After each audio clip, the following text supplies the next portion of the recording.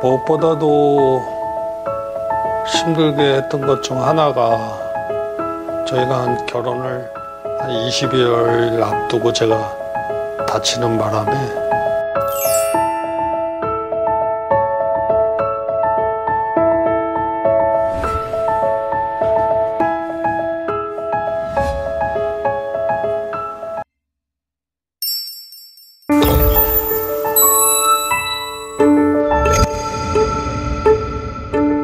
저희 남편이 손으로 붓을 잡을 수 없어가지고 입으로 붓을 물고 지금까지 그린 거예요.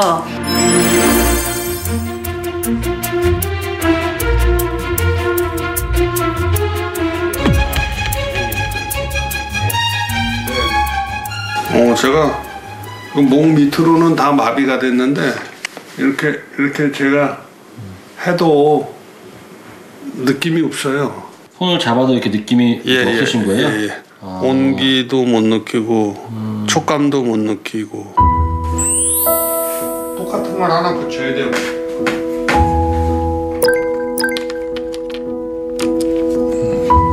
이래 이렇게 이를 물고 하죠. 간단하게 나무 하나 그려볼게요.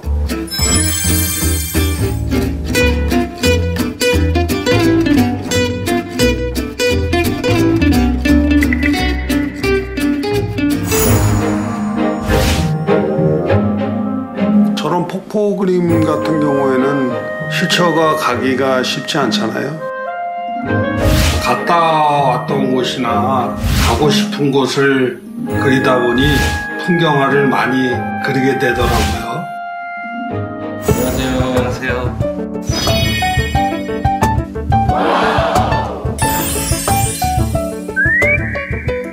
정말 프로님들이 그 보기에도 아주 손색이 없는 그림입니다. 왜냐하면 단색조의 느낌이 그 수채화의 물맛이나 이런 것들이 전체적으로 살아있고 그림의 통일성이 있고요.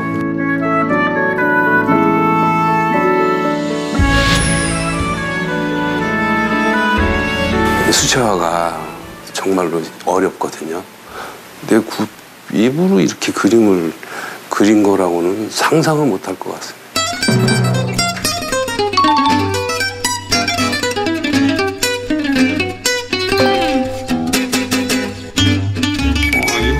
그림 속으로라도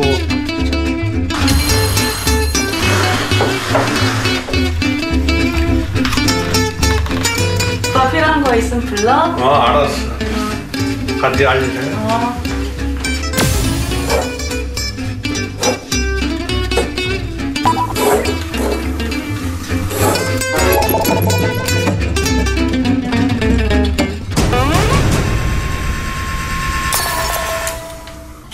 팔을 못 쓰니까 화면이 움직이는 거죠.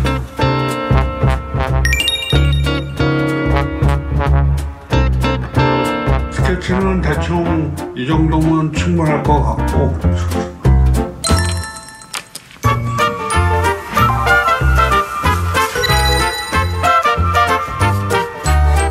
입으로 그리다 보니까 붓끝이 잘 안 보일 때가 있어요. 내 눈높이하고 붓끝 높이하고 같다 보니까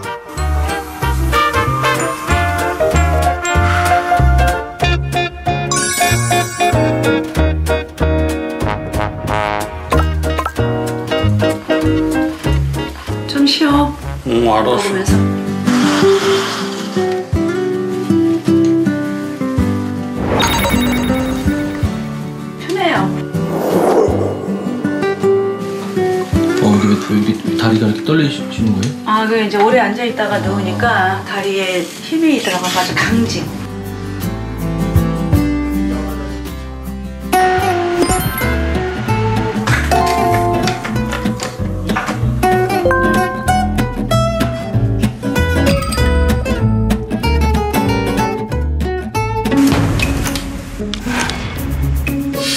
정신아 여기 붓 부러졌다. 붓이 어떻게 부러졌어? 좀 그래. 다른 거 있어? 이빨로 계속 물고 하다 보니까 어쩔 때는 이가 부러져 가지고 뭐 다치기도 한 적이 있는데 그나마 오늘은 나무가 부러져서 다행이네요.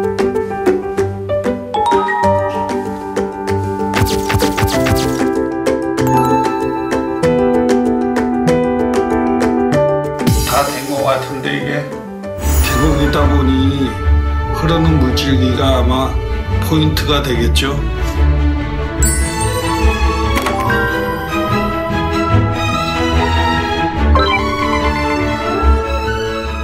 매번 그림 완성할 때마다 음, 좀 놀랍기도 하고 대단한 것 같아요.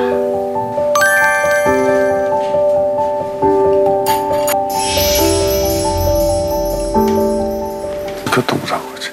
차하고 이제 제가 일방 통행 들어갔다가 자가용하고 이제 이렇게 부댔는데 충격에 목이 부러지면서 신경이 이제 끊겼던 거죠.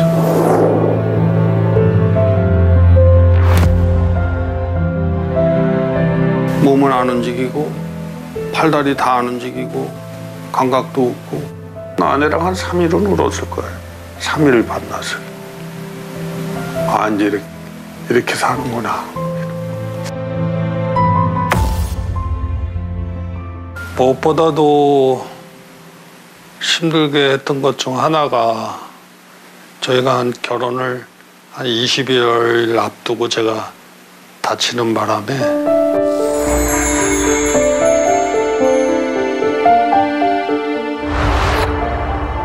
영실이를 보내줘야지 내가 잡으면 안 되지.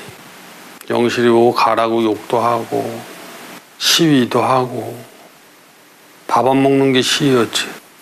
근데 이게 사람이 참 이기심이 가라고 하면서도 어 진짜 가면 어떡하지? 진짜 가면 난 어떻게 살지? 이런 생각도 해봤어요.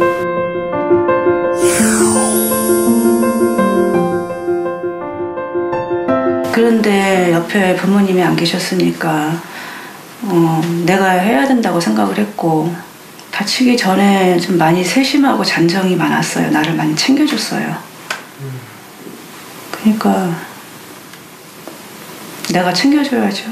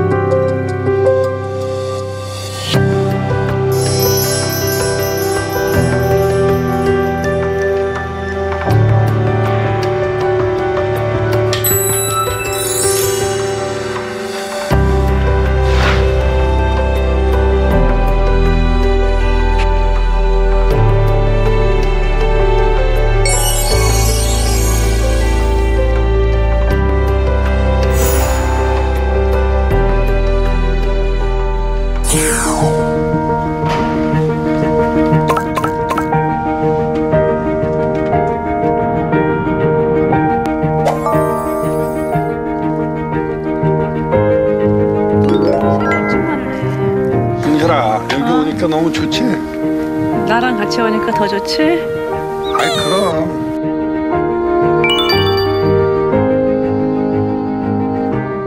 이런 데다 예쁜 집 하나 짓고 영실이랑 같이 알콩달콩 살아도 좋을 것 같은데 그림으로 그리면은 엄청 예쁠 것 같아요.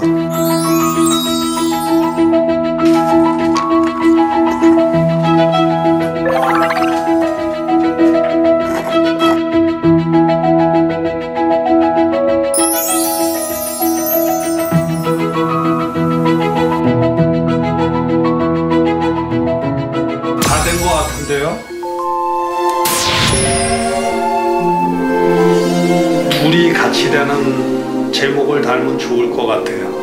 요 앞에 자작나무 두 그루는 하나는 영실이고 하나는 저예요. 같이 할 수 있다는 마음으로